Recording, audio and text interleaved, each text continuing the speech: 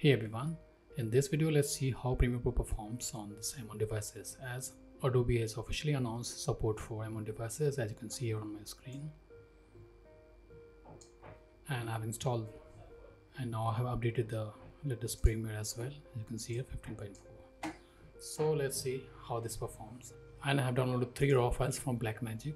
The first one being this over there. This is 2.8k footage and the second clip I've downloaded is this one 4k raw file. And the last 6k raw file as you can see here this one. So let's see how they perform. So here you can see all these three clips. So this is so this is 2.8k as you can see here. So I'll make sequence here and let's see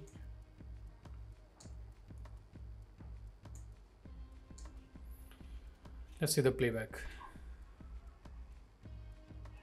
So you can see there's no frames at the top till now. So it's butter smooth 2.8k no issues at all. Let's scrub and see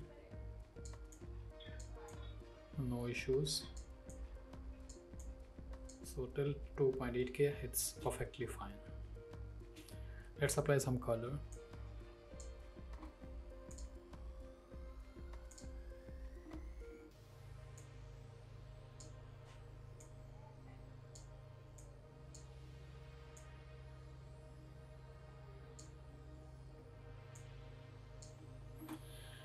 now let's see how this works.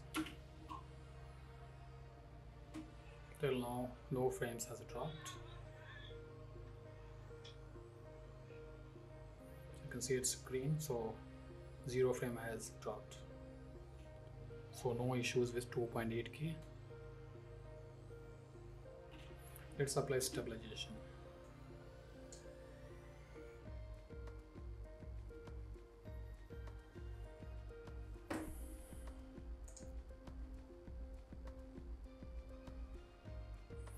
it is slightly faster than my Intel Macs. So we are done. So we are done. Let's see. So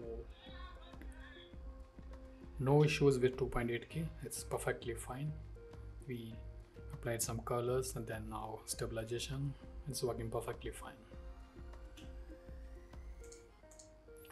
let's try 4k so this is 4k as you can see here. And these are all our raw files.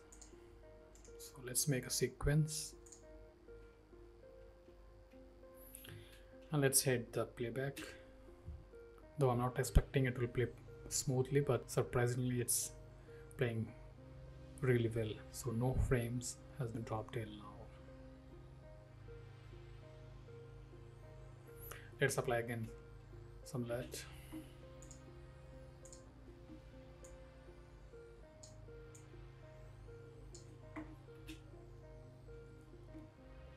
still no issues. So 4k also working fine. Let's apply some stabilization. So it's 4k so guess it will take some time it will take approx 2 minutes.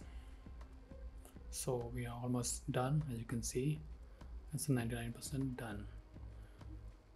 Now it's stabilizing. And we are done in 2 minutes for 4k footage raw file.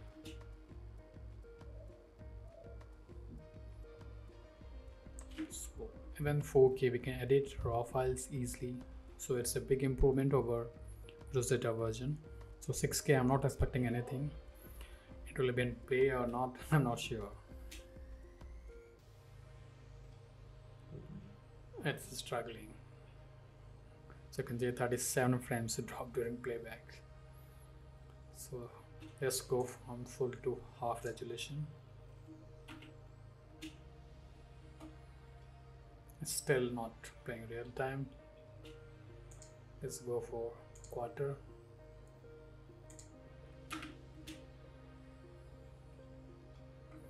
So 6k not revocable at all.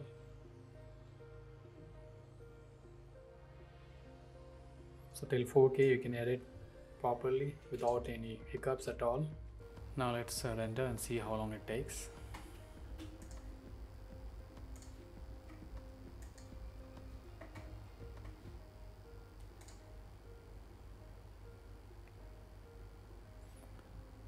It's approx 1 minute clip so let's see